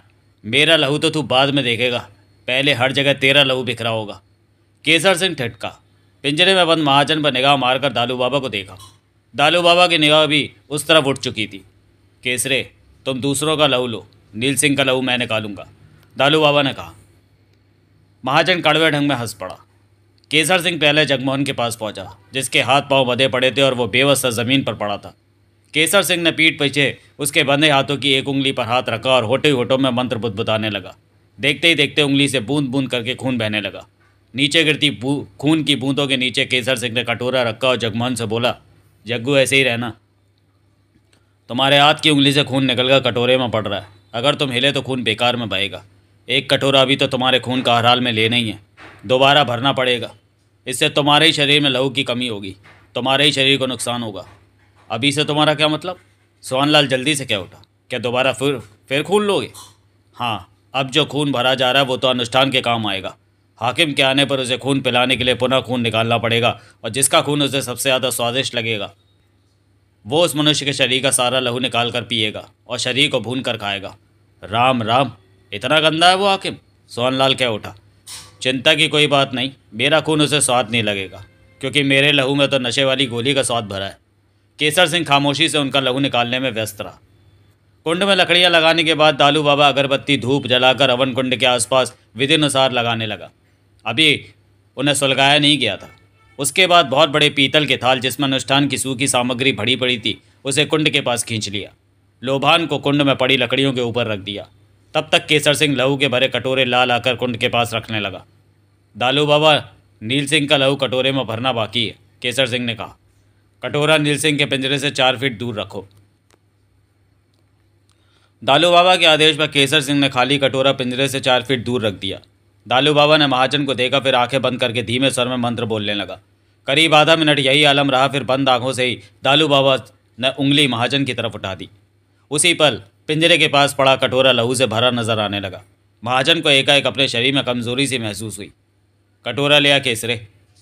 केसर सिंह ने महाजन के लहू से भरा कटोरा लाकर बाकी के कटोरों के पास रख दिया। दालू बाबा ने सारे प्रबंध पर निगाह मारी। सेवक को बुला लो। केसर सिंह से हिलाकर बाहर निकल गया। सबकी निगाह दालू बाबा की हरकतों पर थी। महाजन खूनी निगाहों से दालू बाबा को देख रहा था। पाँच मिनट में ही केसर सिंह सेवक के साथ लौटा। केसर सिंह और सेवक ने कमर पर सफ़ेद धोती लपेट रखी थी। दोनों के माथे पर तिलक और गले में मालाएँ मौजूद थी। दालू बाबा चौकी पर बैठा और दोनों को देख कर शांत सर में बोला, तुम दोनों भी बैठ जाओ, केसर तू यहाँ और तू यहाँ। दोनों दालू बाबा की बताई जगह पर बैठ गए। तुम दोनों इस अनुष्ठान के कायदे नियम जान लो और उसके मुताबिक अनुष्ठान की क्रिया में सहायक बनना है। दालू बाबा का सर स्वाभाविक था। जरा सी भी गलती अनुष्ठान को खराब कर देगी? ऐसा नहीं होगा दालू बाबा। केसर सिंह ने विश्वास भरे स्वर में कहा। पास बैठे सेवक ने भी सहमति में सिरे लाया इस अनुष्ठान में शुद्ध घी के बारह पीपों का ही इस्तेमाल होगा, इसलिए घी को कुंड में इस प्रकार डालना है कि ये पीपे तीसरे दिन अंतिम समय में समाप्त हो। सेवक, तुम घी डालने के लिए लकड़ी का वो चम्मच उठा लो। सेवक ने फ़ौरन चम्मच उठा लिया। घी का खोला कनस्तर पास ही पड़ा था। वो चम्मच दो फीट लंबा था और आगे थोड़ी सी गहराई थी जिसके द्वारा घी कुंड में डाला जा सके। केसरे, तुम्हारे पास कबूतर का पंख पड़ा है। जब मैं बायां हाथ ऊपर उठाऊं तो पंख को लहू के कटोरे में गीला करके कुंड में छींटे डालने। याद रहे, ये छः कटोरे लहू के एक कटोरे से शुरू होकर छः कट, छठे कटोरे तक जाना है। उसके बाद पुनः पहले कटोरे से शुरू करना होगा। समझ गया दालू बाबा? और जब दायां हाथ ऊपर करके उठाऊं तो तुम दोनों ने एक साथ सामग्री और घी कुंड में जलती आग में डालना है। यह अनुष्ठान तीन दिन तक चलेगा, और इस बीच खाना या पानी ग्रहण नहीं करना है। किसी भी काम के लिए यहाँ से नहीं उठना है। यानी कि हाकिम के प्रकट होने के बाद ही यहाँ से उठना है। दालू बाबा ने दोनों को देखा। केसर सिंह और सहवक ने सहमति में सिर हिलाया।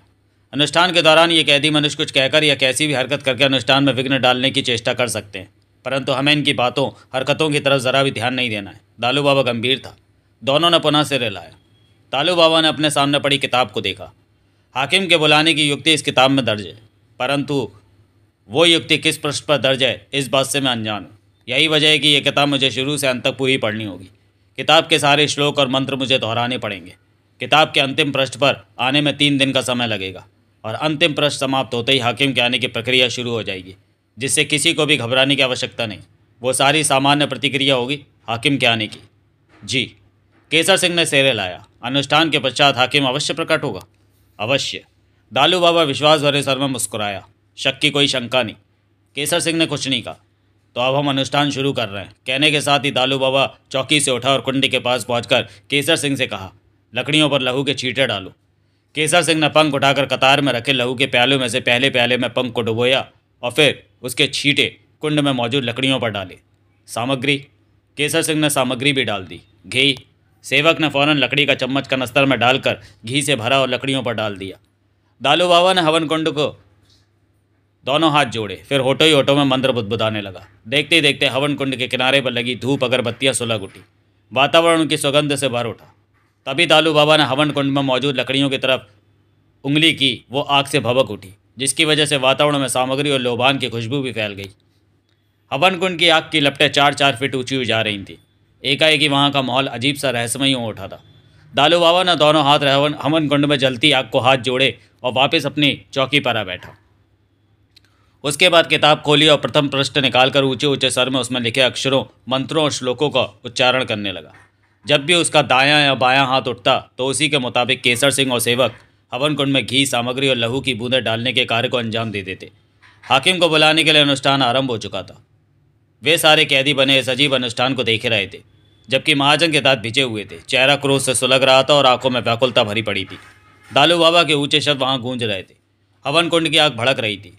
केसर सिंह और सेवक अपने कार्यों को सही ढंग से अंजाम देते जा रहे थे। देवराज चौहान और मोना चौधरी को आगे बढ़ते हुए तीन घंटे बीत चुके थे। काली बिल्ली खामोशी से मोना चौधरी के कंधे पर बैठी हुई थी। दोनों के कदम तेज़ी से उठ रहे थे। हम जा किस तरफ़ रहे हैं देवराज चौहान ने पूछा। तिलिस्म से बाहर, मोना चौधरी ने कहा। यह रास्ता सीधा तिलिस्म से बाहर जाता है? मोना चौधरी मुस्कुरा दी। नहीं, कोई भी रास्ता सीधा तिलिस्म से बाहर नहीं जाता। जो भी एक बार तिलिस्म में आ जाता है, वो ज़िंदा बाहर तभी जा सकता है, जब उसे तिलिस्म के रास्तों का पूरा ज्ञान हो। मोना चौधरी ने मुस्कुरा कर कहा, अगर कोई रास्ता तिलिस्म से बाहर जाने का भी बना हो तो फिर तिलिस्म बनाने का क्या फ़ायदा? देवराज चौहान ने होठ सिकोड़कर सिर हिलाया, ये सारा तिलिस्म तुमने बनाया था? देवराज चौहान ने पूछा हाँ क्यों? दुश्मनों की जान लेने से बेहतर उन्हें तिलिस्मी कैद में भेजना मुझे अच्छा लगता था, इसलिए मैंने तिलिस्म का निर्माण किया था। मोना चौधरी ने कहा, मैं भी तो तुम्हारा दुश्मन था फिर तुमने मुझे तिलिस्म क्यों नहीं भेजा? देवराज चौहान ने उसे देखा। दुश्मन दुश्मन में फ़र्क होता है। मैं तुम्हें तिलिस्म ना भेजकर अपने हाथों से ख़त्म करना चाहती थी। अगर तुम्हें तिलिस्म फंसा देती तो शायद मुझे ही तुम्हें तिलिस्म से मुक्त करना पड़ता। मोना चौधरी ने गहरी सांस ली। ऐसा करने के लिए मुझे बापू और बेला मजबूर कर सकते थे। देवराज चौहान खामोश रहा। और फिर तुमने कई बार ऐसे काम किए कि मुझे लगा, तुम मेरी ताकत को ललकार रहे हो। ऐसे में नगरी वालों को भी दिखाना था कि नगरी की देवी मैं किसी की सिफारिश पर नहीं, बल्कि अपने बलबूते पर बनी नगरी के हर इंसान से टकराने की और उसे हराने की हिम्मत रखती हूँ मैं। देवराज चौहान ने मोना चौधरी को देखा और सिर्फ़ मुस्कुरा कर रह गया। वरना कोई भी योद्धा युवती मुझे चुनौती देकर, जंग के मैदान में मेरी जान लेकर, देवी का ताज अपने माथे पर रखकर मेरी जगह ले सकती थी। मालूम है, देवराज चौहान ने हौले से सिर हिलाया। तभी दोनों ठिटके रुस्तम राव की आवाज़ उनके कानों में पड़ी थी। दोनों ने दाई तरफ़ देखा, रुस्तम राव भागता हुआ आ रहा था। देवराज चौहान, भाई, देवराज चौहान आपुन यहाँ पे तेरे कोई ढूंढ ढूंढ ले ढूंढ रेला था कितने दिन होएला भटकते हुए। अपन तो सोचेला कि यहीं पे भटक के मरेला। पर तो मेला बाप, रुस्तम राव खुशी से चीखता पास आता जा रहा था। देवराज चौहान और मोना चौधरी की निगाहें मिली। लगता है ये दालू बाबा की कोई चाल है। देवराज चौहान के होंठ सिकड़े। परवाह नहीं। मोना चौधरी कड़वे सर में क्या उठी, अब उसकी कोई चाल मेरे सामने नहीं चल सकती, क्योंकि ये चाल है तो अब मेरे सामने बच्चों का खेल है। रुस्ताना अभी दस कदम दूर था कि मोना चौधरी चीख कर बोली, वहीं रुक जाओ। रुस्ताना फ़ौरन ठिटका हैरानी से उसने मोना चौधरी को देखा, फिर देवराज चौहान को। ये अपुन क्या देखेला रुस्ता के सर में अजीब से भाव थे। पूरब और पश्चिम का मेल होएला इधर तो। देवा और मिन्नो साथ साथ होएला विश्वास नहीं आने का। कौन हो तुम? देवराज चौहान की आवाज़ में कठोरता दी। क्या बोला बाप? अपन रुस्ता राव होएला रुस्ता राव उलझन भरे सर में बोला। तुम अपन को नहीं पहचानने लगा क्या? देवराज चौहान, तुम क्या पहचान है तेरी कि तू रुस्ता राव है? देवराज चौहान उसे घूर रहा था। रुस्ता राव के चेहरे पर अजीब से भाव उभरे। तेरा दिमाग तो नहीं फिरेला देवराज चौहान रुस्ता राव ने देवराज चौहान और मोना चौधरी को भी देखा। मैंने पूछा है कि अगर तू रुस्ता राव है तो अपनी पहचान बता। देवराज चौहान पुनः बोला, अपन ज़रूर तेरे को पहचान बताएला बाप। रुस्ता राव ने तीखे स्वर में कहा, पर अपन को तेरे पे शक होएला कि तू देवराज चौहान नहीं होएला। तू देवराज चौहान होएला तो अपनी पहचान दिखाएला कि तू देवराज चौहान होएला? देवराज चौहान होठ भींच कर रह गया। तभी मोना चौधरी कह उठी, अपनी जान बचाना चाहता है तो भाग जाए यहाँ से। तू अपन को भागने के वास्ते बोला मोना चौधरी। जालिम छोकरे की आवाज़ में सख्ती झलक उठी। तेरे को नहीं मालूम रुस्तर राव को। तापर साहब ने पीठ दिखाकर भागने के बारे में नहीं बताया देवराज चौहान की आँखें सिकुड़ी। मोना चौधरी का चेहरा कठोर होने लगा। आँखें सुलग उठी। मैं जानती हूँ, तेरे को दालू ने रुस्तर राव के चेहरे में हमारे पास हमारी जान लेने भेजा है। हमारे समझाने पर भी तू बाज नहीं आ रहा तो ले अपनी करनी का फल। दांत भींचकर कहने के साथ ही मोना चौधरी ने अपनी उंगली रुस्तम राव की तरफ़ की और होटे ही होटों में कुछ बुदबुदाने लगी। देवराज चौहान होठ भीचे बारी बारी दोनों को देख रहा था। रुस्तम राव सिर से पाँव तक उलझन में डूबा मोना चौधरी और देवराज चौहान को देख रहा था। तभी मोना चौधरी की उंगली से किरण से निकली और तेज़ी से रुस्तम राव की तरफ़ बढ़ी। किरण की चमक देवराज चौहान और रुस्तम राव ने स्पष्ट देखी। रुस्तम राव समझ नहीं पाए कि क्या करें। तभी वह किरण उसे छूकर वापस मोना चौधरी की उंगली में आकर गुम हो गई। मोना चौधरी के चेहरे पर अजीब से भाव उभरे। हाथ नीचे कर लिया। फिर पास खड़े देवराज चौहान को देखा, जो उसे ही देख रहा था। यह दालू की कोई तिलिस्मी चाल नहीं, बल्कि असली रुस्तम राव है, मोना चौधरी ने कहा। यह बात तुमने कैसे जानी? देवराज चौहान के होठों से निकला। अगर रुस्तम राव का आना तिलिस्म का खेल होता तो मेरे द्वारा पढ़े गए तिलिस्मी मंत्र से जो करंट निकलकर इसकी तरफ़ बढ़ी थी, वो इसे खत्म कर देती, लेकिन इसे कुछ नहीं हुआ। यानी कि यह असली रुस्तम राव है। मोना चौधरी ने गहरी सांस ली। तुम्हें धोखा भी हो सकता है। देवराज चौहान के सर में शंका थी। मुझे धोखा हो सकता है, मोना चौधरी मुस्कराई। लेकिन मिन्नो को नहीं, जो तिलिस्मी की हर बात के कण कण से वाकिफ है। मिन्नो के सामने किसी की तिलिस्मी चाल सफल नहीं हो सकती। देवराज चौहान ने रुस्तम राव को देखा, वह सतर्कता से काम ले रहा था, क्योंकि पहले जगमोहन के चेहरे को हथियार बनाकर तिलिस्मी चाल द्वारा उसकी जान लेने की चेष्टा की गई थी। उस वक्त अगर बेला उसे सावधान न करती तो तिलिस्मी जहर उसकी और मोना चौधरी की जान ले लेता। ये सब जानने के लिए पढ़ें अनिल मोहन का पूर्व प्रकाशित उपन्यास, ताज के दावेदार। तुम रुस्तम राव हो? देवराज चौहान की एकटक निगाह उस पर थी। बाप, क्यों अपन का दिमाग खराब कर रही है? रुस्तम राव ने आँखें सिकोड़ी। ठीक है। देवराज चौहान उसी लहजे में बोला, मेरे सवाल का जवाब दो। जब हम तिलिस्मी नगरी की तरफ़ बढ़ रहे थे तो तब तुम नदी में नहाते हुए कहाँ गायब हो गए थे? क्या बोला बाप? तुम्हारा खोपड़ी ही ले ला क्या? रुस्तना होठों के हो रुस्तना के होठों से निकला। अपन नदी में कहाँ गायब बोला अपन तो पत्थर के घोड़े पर बैठेला तो घोड़ा हवा में, आसमान में पहुँचेला था। जानने के लिए पढ़े अनिल मोहन का पूर्व प्रकाशित उपन्यास, जीत का ताज। तब मैंने तुम्हारी टांग पकड़ी तो तुम घोड़े से नीचे क्यों नहीं उतरे? अपन को पूरा विश्वास होएला कि तुम्हारी खोपड़ी फिरेला है। रुस्ताना ने अजीब से सर में कहा, क्यों? अपन की टांग तुमने किधर पकड़ेला था? घोड़ा तो अपन को लेकर फ़ौरन हवा में पहुंचेला। देवराज चाँद मुस्कुराया। माना कि तुम रुस्तम राव असली हो, देवराज चाँद बोला। बाप, रुस्तम राव आगे बढ़ा। तुम अपन पर शक क्यों करेला कि अपन रुस्तम राव नहीं? नगरी और तिलिस्म का इस वक्त दालू नाम का व्यक्ति मालिक बना हुआ है। वो हमसे डर रहा है, इसलिए कई तरह के कुचक्कर करके मेरी और मोना चौधरी की जान लेना चाहता है। देवराज चौहान ने समझाने वाले सर में कहा एक बार तो अपने तिलिस्म के दम पर जगमोहन के चेहरे वाले व्यक्ति को हमारे सामने कर दिया कि वह हम दोनों की जान ले सके। इसलिए तुम्हारे बारे में सावधानी बरती गई। समझेला बाप, खोपड़ी में पूरी बात घुसेला रुस्तम ने कहकर मोना चौधरी को देखा। दोनों की आँखें मिली। मोना चौधरी मुस्कुराई तो वो देवराज चौहान से बोला, तुम दोनों साथ कैसे होइला? उसकी बात का जवाब ना देकर देवराज चौहान ने पूछा, तुम तिलिस में कैसे आ गए? बाबा हमको इधर पहुँचाएला रुस्ताना मुस्कुराया, फ़कीर बाबा, देवराज चौहान के होठों से निकला। हाँ बाप असल बात यह होइला कि अपन को पहले जन्म का पूरी तरह याद आएला अपन अपनी लाडो से भी मिला। रुस्ता राव का चेहरा खुशी से भर उठा था। बाबा जाने लगी तुम दोनों इधर तिलिस में होइला। बाबा बोला कि तुम दोनों को पहले के जन्म की बात याद कराएला इसी वास्ते बाबा ने अपन को तिलिस में भेजेला। तुम दोनों झगड़ेला नहीं। वो पहले जन्म की लड़ाई तो कालू राम और दालू कराएला चालबाजी से। बाबा भी तब गड़बड़ करेला, पर अब उसका दिमाग ठीक होएला वो मानेला कि उससे गलती होएला अपड़ तुम दोनों को बताएला कि पहले जन्म में क्या होएला काय को तुम दोनों एक दूसरे को खून के प्यासे होएला और कहते कहते रुसर और ठिटका देवराज चौहान और मोना चौधरी के चेहरों पर अजीब सी मुस्कान बिखर गई थी। क्या बात होएला बाप? उनकी मुस्कान पर रुस्ताना उलझन में पड़ा। तुम्हारा चेहरा देखकर लग रहा है कि कई दिनों से तिलिस्म में भूखे प्यासे भटक रहे हो। देवराज चौहान ने मुस्कुराया। ठीक बोला बाप, पर यहाँ पे कोई इंतज़ाम नहीं होएला खाने के वास्ते। मैं अभी इंतज़ाम कर देती हूँ। मोना चौधरी भी मुस्कुराई। और अगले ही पल उसने आँखें बंद करके होटो होटो में कुछ बुदबुदाया तो एकाएक ही सामने टेबल और उस पर पड़ा, गर्म खाना नज़र आने लगा। पास में तीन कुर्सियाँ मौजूद थी। खाने की महक उनकी सांसों से टकराई। मोना चौधरी ने आँखें खोल ली। रुस्तम और ठगा सा रह गया। उसकी निगाह टेबल, कुर्सी और खाने पर फिरने लगी। चेहरे पर पचासों तरह के भाव गुड़मुड़ हो रहे थे।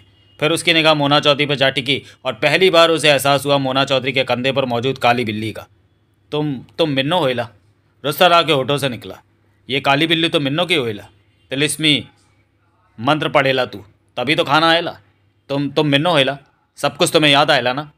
देवराज चौहान मुस्कुराया मुस्कान भरे चेहरे के साथ क्या उठा? खाना खा ले त्रिवेणी, ठंडा हो जाएगा। अब माँ तो पास बैठी नहीं जो तेरे को दोबारा गर्म करके खिलाए।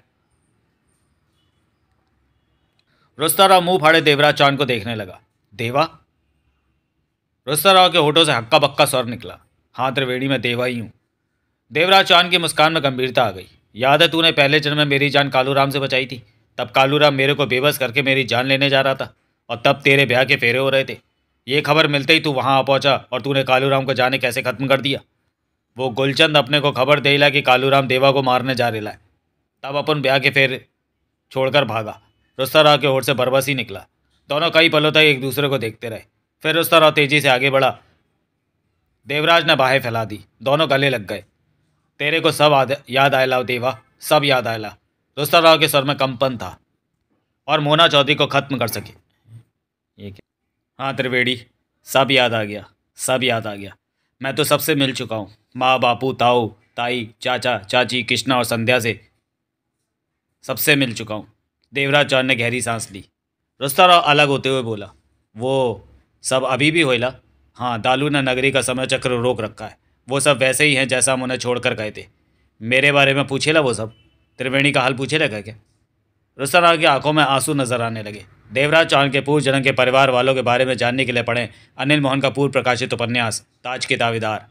नहीं त्रिवेणी, बहुत कम समय गुजार गुजार पाया उनके साथ। कोई बात करने का पूरा वक्त ही नहीं मिला। शाम से लेकर आधी रात तक चंद घंटे ही उनके पास रह पाया। मालूम है वो लोग किधर को हिला मालूम हो जाएगा। मोना चौधरी क्या उठी मैं रास्ते में आने वाले हर तिलिस्म को ख़त्म करती जाऊँगी। देवा के परिवार वाले, बस्ती वाले जहाँ भी होंगे मिल जाएँगे। रुस्तानाव ने मुस्कुराकर मोना चौधरी को देखा। मुझे खुशी होइला कि तुम दोनों को पूर्वजन्म की सब बातें याद आयला। रुस्तानाव के होठों पर मुस्कान बिखरी पड़ी थी। और इससे भी ज़्यादा खुशी ये होइला कि वो पुरानी दुश्मनी तुम दोनों भूला मोना चौधरी मुस्कुराई। त्रिवेणी, जिस मुद्दे पर दुश्मनी की बुनियाद पड़ी थी, वो मुद्दा इतना अहम नहीं कि याद आने पर उस मुद्दे को फिर से उठाया जाए। उस वक्त दुश्मनी का मुद्दा शायद ठीक रहा हो। परंतु आज लगता है कि वो सब बातें बेमानी थी। उसमें झगड़े जैसी कोई वजह पैदा नहीं होनी चाहिए थी। मिन्नो, वो झगड़ा तेरी जिद की वजह से होएला कि तू देवा से ब्याह। रहने दे त्रिवेणी। मोना चौधरी ने गंभीर स्वर में कहा, बीती बीत, बीती बातें मत उखाड़। मेरी गलती होते हुए भी मैं खुद को शायद गलत नहीं मानती, क्योंकि दालू और पेशीराम की बातें मेरे सिर पर चढ़कर बोल रही थी। कुछ मेरी आदत गुस्से वाली थी तो कुछ मैं दूसरों के भड़कावे में आ गई, और फिर वो हो गया जो नहीं होना चाहिए था। मैं सब वो, मैं सब वो बातें याद नहीं करना चाहती। मोना चौधरी।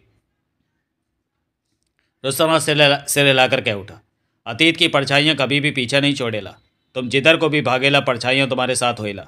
तुम्हारे ही कहने पर कालूराम देवा की जान लेने जा जायला था। अपनी हेकड़ी के वास्ते तुमने कालूराम को देवा की जान, त्रिवेणी, देवराज चौहान ने टोका। रुस्ता राव ने देवराज चौहान को देखा। पहले जन्म में हुए हादसों की परवाह मुझे नहीं है तो तुम्हें भी इन बातों को छोड़ देना चाहिए। अपुन किधर बात पकड़ेला? यही बात किएला था देवा। आओ खाना खा लें। तीनों कुर्सी पर बैठ गए और खाना खाने लगे। अपुन को बहुत खुशी हुएला कि तुम दोनों को सब याद आएला और दोस्ती बनेला दोनों में। पेशीराम ने अपन को इसी वास्ते तिलिस में भेजेला कि दोनों को पूर्वजनों की बातें याद कराएला और दोस्ती कराएला। परंतु वो बात तो पहले ही फिट होएला। रुस्ता राम मुस्कुरा कर बोला, खाने के दौरान कुछ ऐसी बातें होती रहीं। उसके बाद रुस्ता राव बोला, अब तुम लोग क्या करे लाओ देवराज चौहान और मोना चौधरी की निगाह मिली। हाकिम की याद है? देवराज चौहान बोला, बरोबर याद है बाप। उसको अपन ने देखेला नहीं, बाद में पैदा होएला था। पर यह मालूम होएला कि हाकिम गुरुवर का बेटा होएला गुरुवर ने उसे विद्वान बनाएला देवताओं का आशीर्वाद दिलाए दिलाया हाकिम को, गुरुवर ने, कि वो लोगों की सेवा करेला। पर वो बिगड़ेला, बहुत बुरा बनेला वो। पर बात क्या हो गया? अपनी ताकत से भरी बुराइयों के साथ आगे मैं अज्ञातवास पर चला गया था। कोई नहीं जानता कि वो कहाँ रह रहा है और क्या करता है। परंतु ये ज़ाहिर है कि वो जहाँ भी है, वहाँ भी बुरे काम करके लोगों को दुखी कर रहा होगा। दालू ने कभी उसका भला किया था, इसलिए हाकिम ने मुसीबत के वक्त से, मुसीबत के वक्त उसे बुलाने की तरकीब बता दी थी। और हमें मालूम हुआ कि दालू अब हाकिम को बुलाने के लिए विधि अनुसार अनुष्ठान कर रहा है कि हाकिम मुझे और मोना चौधरी को ख़त्म कर सके। इसमें तीन पन्ने कम थे, जिस वजह से मुझे इसकी दूसरी कॉपी को पढ़ना पड़ा। लेकिन आप लोग सोच रहे होगे, इतनी साफ़ कॉपी को मैं क्यों नहीं पढ़ रहा हूँ? और ओरिजिनल कॉपी क्यों पढ़ रहा हूँ? क्योंकि उसमें बहुत ज़्यादा मिस्टेक्स हैं। सेंटेंसेस गलत हैं, इसलिए मैं ओरिजिनल कॉपी को ही रीड कर रहा हूँ। दालू, डरेला, मिन्नो और तुम्हारे से? रस्ता राव का चेहरा गुस्से से भर उठा। खासतौर से मिन्नो से, क्योंकि वह सब जानेला कि मिन्नो के साथ उसने क्या गड़बड़ करेला मोना चौधरी का चेहरा भी धधक उठा। त्रिवेणी, देवा के साथ मेरी आखिरी लड़ाई में मैंने इसे ख़त्म कर दिया था, और तब मैं भी मरणासर अवस्था में पड़ी थी। मेरा उपचार होता तो मैं ठीक हो जाती, लेकिन दालू का सारा खेल तो मेरी जान खत्म करना ही था। वो मुझे ज़िंदा कैसे रहने देता? मेरे जिस्म से जान निकालने में सिर्फ़ एक आखिरी बार की ज़रूरत थी। जिसे देवा तो नहीं कर सका, लेकिन वो वार दालू ने धोखे से कर दिया। ओह रुस्ता राव के होठों से निकला। और भी बातें हैं जिससे दालू डर रहा डर रहा है। मैंने उसे रखवाले के तौर पर तिलिस्म सौंपा था, परंतु वो बापू और बेला के साथ षड्यंत्र करके नगरी का भी मालिक बन गया। तिलिस्मी ताज अपने कब्जे में करके नगरी के समय चक्र को रोक दिया। अभी भी वो बापू और बेला की जान के पीछे है। ऐसी और भी पचासों बातें हैं, जिसकी वजह से वो मेरे से डर रहा है। कि अगर मुझे पूर्व जन्म याद आ गया तो वो कहीं का नहीं रहेगा। इसी वजह के कारण वो हाकिम को बुलाकर मुझे ख़त्म करना चाहता है। देवा से भी उसे डर है कि उसे भी अगर पूर्व जन्म की बातें याद आ गई और मालूम हो गया, उस झगड़े में तालू बाबा का हाथ था। उसने ही झगड़ा करवाया था और इसके परिवार और बस्ती वालों को समय चक्कर में बाँध रखा है तो देवा भी उसे नहीं छोड़ेगा। इसलिए दालू हम दोनों का हर हाल में ख़त्म करवाना चाहता है। तीनों के चेहरों पर गंभीरता और गुस्सा उभरा पड़ा था। ये बात तो हाकिम को डराए लाई, पर ये तो सब तुम लोगों को कौन बताया बाप? मेरे बापू ने। बेला ने। मोना चौधरी ने सख्त स्वर में कहा, बापू के प्रयत्न से ही हमें पहले की जन्म याद आई है। और अब बेला और बापू तुम्हारा किधर होइला अभी तुम उनसे नहीं मिल सकते। रुस्ता राव सिर हिलाकर रह गया। तो अब किधर का प्रोग्राम होइला रुस्ता राव ने दोनों को देखा। रुस्तम, देवराज चौहान ने गंभीर स्वर में कहा, गुरुवर के समझाने पर भी हाकिम ने अपने पिता की बात नहीं मानी, क्योंकि अमृत पर हासिल कर चुका हाकिम तो जैसे सबका हाकिम बन चुका था। लेकिन शायद हाकिम ने अपने पिता यानी कि गुरुवर की शक्तियों को ठीक तरह से समझा नहीं था। हाकिम जब गुप्त आवाज़ पर अपनी मनमानी करने चला गया तो गुरुवर ने एक किताब लिखी, जिसमें अमृत प्राप्त हाकिम को खत्म करने की तरकीब का ज़िक्र था। और वो किताब तब की नगरी की देवी को ये कहकर सौंप दी कि अगर हाकिम नगरी पर जुर्म ढाए तो इस किताब में उसे समाप्त करने का उपाय दर्ज है। परंतु हाकिम ने कभी भी इस नगरी पर जुर्म नहीं किया। कभी आया तो थोड़ा बहुत करके फ़ौरन चला गया, क्योंकि उस किताब का उसे भी पता था। ऐसे में वो किताब सुरक्षित रखी। उसके हवाले कर दी जाती, जो कुलदेवी चुनी जाती। रुस्ता ने सिरे लाया। और जब मोना चौधरी कुलदेवी बनी तो वो किताब इसके कब्जे में आ गई। उस किताब को मोना चौधरी ने अपने तौर पर सुरक्षित जगह पर रख दिया। और उसके बाद नगरी के झगड़े इस कदर बढ़ गए कि वो किताब महल में उसी गुप्त जगह पर रही और सब कुछ तबाह हो गया। तो अब किताब का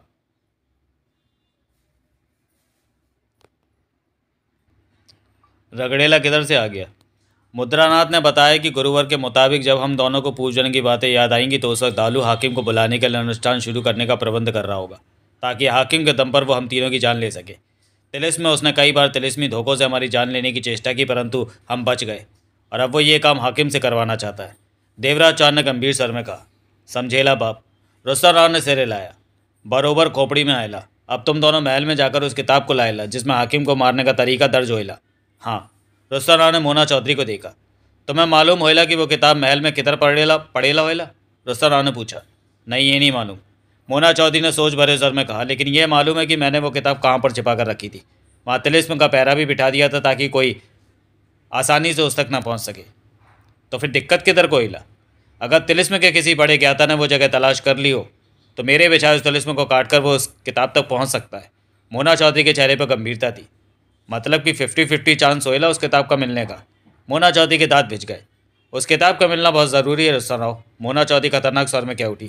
क्योंकि उस किताब के बिना हम हाकिम का मुकाबला नहीं कर सकते। और एक बार फिर दालू अपने इरादे में कामयाब हो जाएगा और मैं उसकी चालों में आकर जान नहीं गंवाना चाहती। दो पलों के लिए वहाँ खामोशी सी छा गई। देवराज चौहान ने दोनों के चेहरों पर निगाह मारी।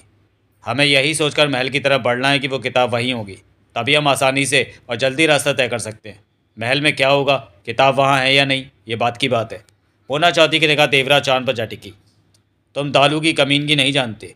उसकी कमीनगी का एहसास मुझे अब हो रहा है। मोना चौधरी एक एक शब्द चबाकर कड़वे तीखे स्वर में क्या उठी? मेरी मौत के पश्चात नगरी को अपने कब्जे में लेने के पश्चात यकीनन उसने उस किताब की तलाश की होगी, जिसमें हाकिम की मौत का ढंग दर्ज है। हो सकता है दालू ने वो किताब तलाश कर ली हो, या फिर किताब तक पहुँचने में सफल ना हो सका हो। कुछ भी हो सकता है। देवराज चौहान उठ खड़ा हुआ। दोनों ने उसे देखा। हमें तुरंत यहाँ से चल देना चाहिए। देवराज चौहान ने कहा, अगर वो किताब महल में नहीं है तो हाकिम से निपटने का कोई और तरीका सोचना पड़ेगा। मोना चौधरी और उस्तरा फ़ौरन उठ खड़े हुए। वो अपने बाकी साथी किधर को हिला? कोई मेला का? रुस्तर ने दोनों को देखा। नहीं। देवराज चाँद के ओट बिस्ते चले गए।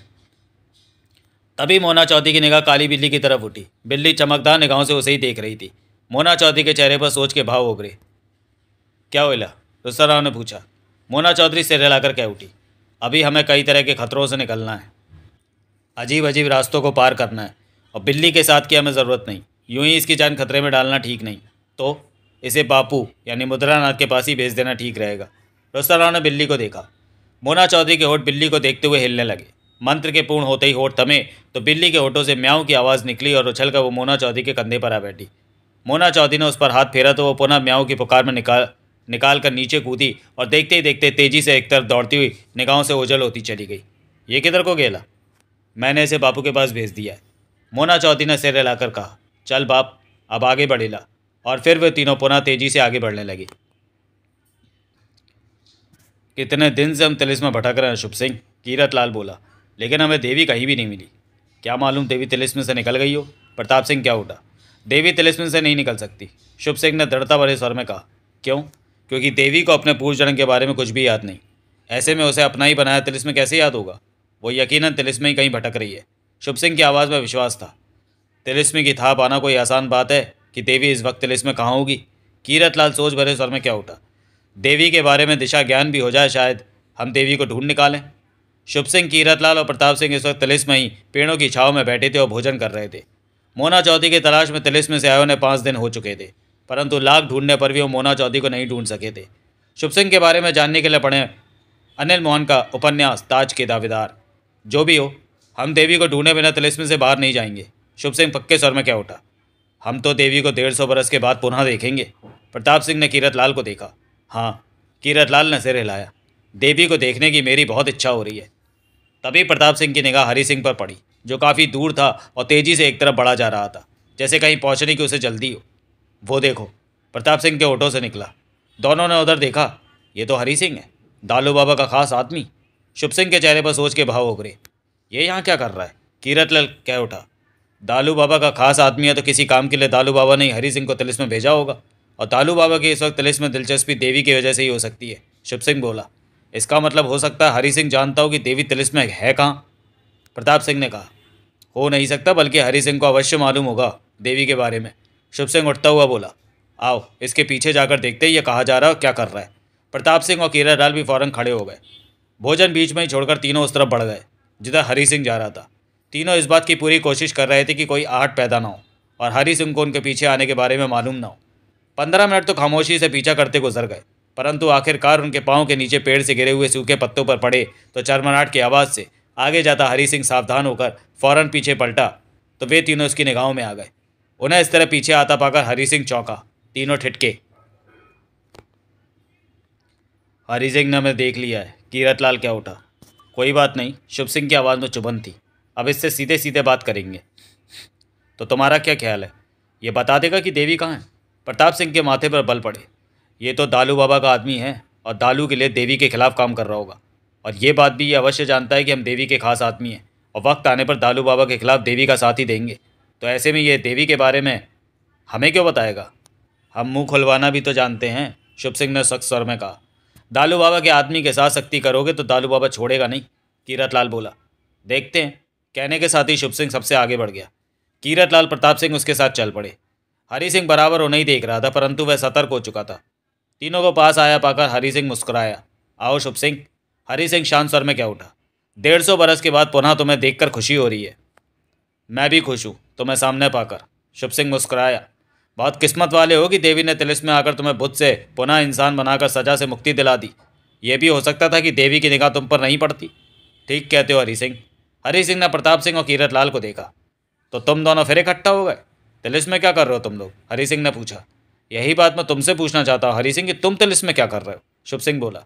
मैं तो दालू बाबा के काम की खातिर तिलिस में हूँ, हरी सिंह ने कहा। दालू बाबा का काम? मतलब कि दालू बाबा के लिए तिलिस में फंसी देवी की खबरें इकट्ठी करके दालू बाबा तक पहुँचा रहे हो? शुभ सिंह मुस्कुराया। समझदार तो तुम शुरू से ही रहे हो शुभ सिंह। हरी सिंह मुस्कुराया। शुभ सिंह हरी सिंह को देखता रहा। तुम तिलिस में क्या कर रहे हो? हरी सिंह ने पूछा। देवी की तलाश। वफादारी की आदत गई नहीं अभी तक तुम्हारी? हरी सिंह ने शांत स्वर में कहा। मेरी सलाह मानो तो अपना रास्ता बदल लो। दालू बाबा को इस बार पसंद नहीं आएगा कि कोई मिन्नों की सहायता करे। शुभ सिंह का चेहरा कठोर हो गया। मैं दालू बाबा का नौकर नहीं हूँ। तुम हो उसकी जी उजीरी करने वाले। मैं तो कुल देवी की सेवा करके अपने फ़र्ज़ को पूरा कर रहा हूँ। शुभ सिंह, शब्दों को चबा कर कह उठा।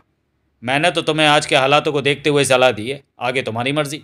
हरी सिंह ने शांत स्वर में कहा, लेकिन तुम लोगों को इस तरह मेरा पीछा नहीं करना चाहिए। तुम ठीक कहते हो। हमें सीधे सीधे बात करनी चाहिए। शुभ सिंह ने कहा, कैसी बात? तुम्हें खबर है कि देवी सिंह, सॉरी, देवी तिलिस्म कहाँ है? शुभ सिंह गंभीर स्वर में बोला हाँ पूरी नहीं तो आधी अधूरी तो खबर ही। हरी सिंह के माथे पर बल पड़े।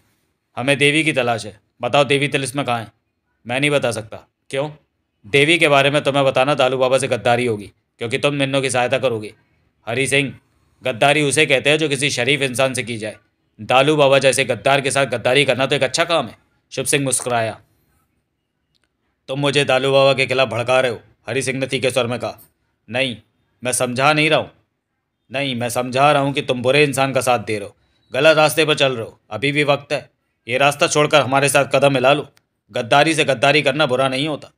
बता हरी सिंह, देवी तिलिस्म कहाँ है? शुभ सिंह की निगाह हरी सिंह पर थी। मैं नहीं बताऊँगा। ठीक है? इतना ही बता दी कि देवी तिलिस्म किस दिशा में मैं कुछ नहीं बताऊँगा। हरी सिंह होठ भीज कर क्या उठा। कीरत लाल बोला यह सीधी तरह नहीं मानने वाला। इसे रास्ते पर लाना होगा। शुभ सिंह कठोर सर में क्या उठा, शुभ सिंह कैर भरे ढंग से मुस्कराया। सुना हरी सिंह, अब फैसला तो ही कर ले। शुभ सिंह, हमारी कोई दुश्मनी नहीं है कि हमारी दुश्मनी नहीं है, बल्कि हम लोगों के कर्मों की दुश्मनी है। तू गलत इंसान का साथ दे रहा है और मैं कुलदेवी की रक्षा करने के लिए भाग दौड़ कर रहा हूँ। बता, देवी तेलिस में कहाँ है? नहीं, मैं तुम्हारे सवाल का जवाब नहीं दूँगा। तभी कीरत लाल ने गुस्से में कमर में फंसी कटार निकाल ली। हरी सिंह, शुभ सिंह की आँखों में कठोरता बरसने लगी। दालू बाबा ने नगरी का समय चक्र रोक रखा है, लेकिन किसी को भी अमर रहने का वरदान प्राप्त नहीं है। हमारे सवाल का जवाब दिए बिना तू यहाँ से नहीं जा सकता। अपना भला सोच ले। तुम्हारी धमकी मैं दालू बाबा को बताऊँगा, हरी सिंह दांत भीज कर बोला। शुभ सिंह ने कमर पर फंसा खंजा निकाल लिया। तू दालू बाबा तक तभी पहुंचेगा जब हम तुझे ज़िंदा छोड़ेंगे। शुभ सिंह ने गुस्से से क्या उठा। तो तुम लोग मेरी जी मुझे जान की धमकी दे रहे हो? हरी सिंह गुस्से से भर उठा। ये धमकी नहीं है, बल्कि सच में हम तेरी जान लेने जा रहे हैं। तू ज़िंदा रहा तो देवी के खिलाफ दालू की सहायता करता रहेगा। एक एक करके तेरे जैसे दालू के सब विश्वस्त आदमियों को खत्म करना ज़रूरी हो गया। लेकिन तेरे लिए एक मौका है जीने का, इस वक्त। तिलिस में देवी किस दशा में ये खबर हमें दे दे और अपनी जान बचा ले। शुभ सिंह, खतरनाक स्वर में क्या उठा? हरी सिंह ने फुर्ती के साथ कमर में फंसी तलवार निकाल ली। शुभ सिंह, अब तुम मेरे हाथों से नहीं बचोगे। ये गद्दार गद्दार का ही साथ देगा, शुभ सिंह क्रूर स्वर में बोला। खत्म कर दो इसे। उसी क्षण पलक झपकते शुभ सिंह के हाथों से खंजर निकला और हवा में लहराता वो खंजर ठीक हरी सिंह की छाती में पूरा का पूरा जाता सा हरी सिंह जोरों से चीखा, तलवार हाथ से छूट गई और दोनों हाथ छाती में फंसे खंजर पर जा टिके। छाती खून से गीली होने लगी। उसके चेहरे पर पीड़ा के भाव थे। शुभ सिंह हरी सिंह लड़खड़ाता क्या उठा? तुम शुभ सिंह आगे बढ़ा और जोरदार ठोकर उसके पेट में मारी। हरी सिंह ज़मीन पर लुढ़कता चला गया। शुभ सिंह का चेहरा गुस्से से भर भरा पड़ा था। ये तेरा आखिरी वक्त है हरी सिंह। तुमने तालू के साथ मिलकर बहुत बुरे काम किए हैं। मुझे पत्थर का बुत बनाकर डेढ़ सौ बरस तक झूठी सजा दे दी क्योंकि मैं देवी का वफादार था। अभी भी वक्त है। अपने किए का पश्चाताप कर लो बता दो देवी कहाँ है तिलिस में। न, नहीं। दर्द से तड़पता हरी सिंह क्या उठा? नहीं बताऊँगा तुम। कीरत लाल शुभ सिंह मौत से भरे स्वर में बोला, एक ही बार में इसकी गर्दन अलग कर दो। कीरत लाल फ़ौरन आगे बढ़ा और देखते ही देखते एक ही बार में कटार से हरी सिंह की गर्दन अलग कर दी। सिर दूर जा गिरा। हरी सिंह का शरीर जोरों से तड़पने लगा। बहता खून ज़मीन को सुर्ख कर रहा था। दिल दहला देने वाला दृश्य सामने था। परंतु तीनों के चेहरे कठोर हुए पड़े थे। प्रताप सिंह, शुभ सिंह कठोर सर में क्या उठा? हाँ गड्ढा खोदो और इसका सिर ज़मीन में दफन करके ऊपर मिट्टी डाल दो। ऐसा मत करो, शुभ सिंह। प्रताप सिंह बोला, क्यों? शुभ सिंह ने प्रताप सिंह को देखा। नगरी में हर कोई जानता है कि दुश्मन को खत्म करके शुभ सिंह उसका सिर काटकर ज़मीन में दफन कर देता है। बिना सिर की लाश, डेढ़ सौ बरस पहले जब भी नज़र आती तो सब जान जाते थे कि तुमने उसे मारा है। प्रताप सिंह ने कहा, तुम कहना चाहते हो कि ऐसा करने से दालू समझ जाएगा कि हरी सिंह को मैंने मारा है? प्रताप सिंह ने सहमति से सिर हिलाकर कहा हाँ और इस वक्त हम दालू से मुकाबला करने की स्थिति में नहीं है, इसलिए अब मुझे दालू का डर नहीं। देवी डेढ़ सौ बरस बाद वापस आ चुकी है। देवी की सेवा की खातिर ही मैंने हरी सिंह की जान ली है। देवी मेरी सहायता करेगी। इस सेवा की राह में अगर दालू मेरी जान भी ले ले तो मुझे कोई दुख नहीं होगा, क्योंकि अब छिपकर दालू से नहीं लड़ा जा सकता। गड्ढा खोदो और हरी सिंह के सिर को दबा दो, ऊपर मिट्टी डाल दो। जय कुल देवी शुभ सिंह कहते हुए बेखौफ आगे बढ़ा और मृत हरी सिंह के सीने में धसा खंजर निकालकर उसे साफ़ करके कमर पर लगाया और हरी सिंह के नीचे पड़ी तलवार उठाई। और दस बारह कदम दूर जाकर तलवार की नोक में गड्ढा खोद तलवार की नोक से गड्ढा खोदने लगा। सिर्फ़ दफन करने के लिए सॉरी सिर दफन करने के लिए। इसलिए मैं इससे नहीं पढ़ रहा था। कीरत लाल खून में डूबी कटार को साफ़ करने में व्यस्त था। बहुत पक्का निकला हरी सिंह। हमारे सवाल का जवाब नहीं दिया। जान दे दी, कीरत लाल बोला। पक्का नहीं था। शुभ सिंह तीखे स्वर में क्या उठा? यूँ समझो कि इसकी जान धोखे से चली गई। क्या मतलब? इसे यकीन नहीं हो रहा था कि हम इसकी जान ले सकते हैं। शुभ सिंह ने गहरी सांस ली। अगर इसे मालूम होता कि हम वास्तव में इसकी जान ले लेंगे तो यह हमारे सवाल का जवाब दे देता। इसने ऐसा क्यों सोचा कि हम इसे नहीं मारेंगे? इसलिए कि नगरी में दालू बाबा से ताकतवर और कोई दूसरा नहीं। ऐसे में हम इसे मारकर दालू बाबा से क्यों दुश्मनी लेंगे? यही सोचा था इसने। तभी तो छाती तान कर खड़ा रहा। लेकिन बेवकूफ़ इस बात का एहसास नहीं था कि देवी के अहित में जो ये काम कर रहा है, वो हम नहीं करने देंगे। शुभ सिंह की आवाज़ काफ़ी हद तक शांत हो चुकी थी, परंतु चेहरे पर गुस्सा मौजूद था। शुभ सिंह ने डेढ़ फीट गड्ढा खोद लिया। कीरतलाल, सिरला कीरतलाल ने लुढ़का पड़ा हरी सिंह के सिर को बालों से पकड़ा और प्रताप सिंह की तरफ़ बढ़ गया। बूंद बूंद लहू अभी भी ज़मीन पर गिर रहा था। कीरतलाल ने कटा सिर गड्ढे में डाला तो प्रताप सिंह मिट्टी से पुनः गड्ढा भरने लगा। तो चलिए दोस्तों, वीडियो को यहीं समाप्त करते हैं और मिलते हैं कौन लेगा ताज के दूसरे भाग में। अगले वीडियो में, तब तक के लिए धन्यवाद।